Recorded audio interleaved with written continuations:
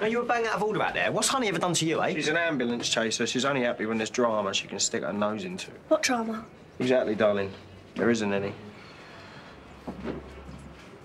Do you know what this is? Yeah, it's a load of numbers. It's my measurements. Right. Honey took them for my uniform for the tie. That was nice of her, wasn't it? I don't have many girls to talk to. I mean, Joe's pretty girly, but it's not quite the same. Well, thanks. I can talk to Honey. She really listens. Like Mum used to. And you just shouted at her. Yeah, well, come on then. Let's, let's go and get your uniform, yeah? No, I want Jay to take me. And I want you to go and apologise to Honey. Legs. We all miss Mum, but we've all got to try and be happy. I want you to be happy, Dad. Come on. Fanga said the queues at the uniform shop were around the block, and our mum even got in a fight. Sounds great. Sort it out, eh?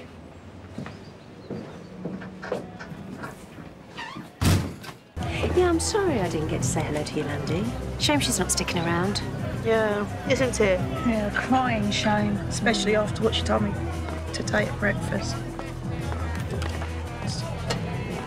Hi. Listen, you don't have to say anything. No, I do. Well, what, do you want to get coffee? Yeah?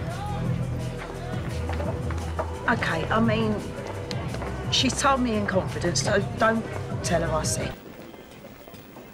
I remember when I first met you. Such a happy little boy. Always singing and dancing you out. I remember thinking, you know, he'd make a great Billy Elliot. A long time ago, honey. Mm, and you've been through a lot, haven't you? Although what Mitchell hasn't. I still see him, though, that happy boy. When he's dancing with Lexi or having a laugh with Callum. Hmm.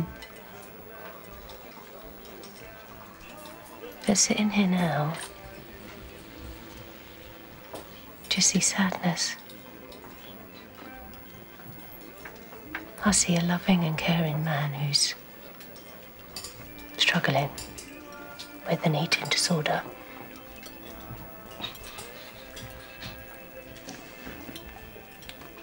Mm.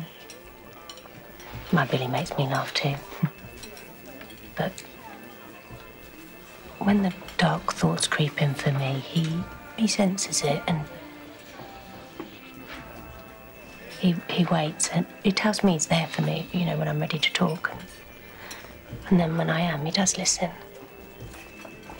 And I know you don't want to talk to me, Ben, I get it, but Callum,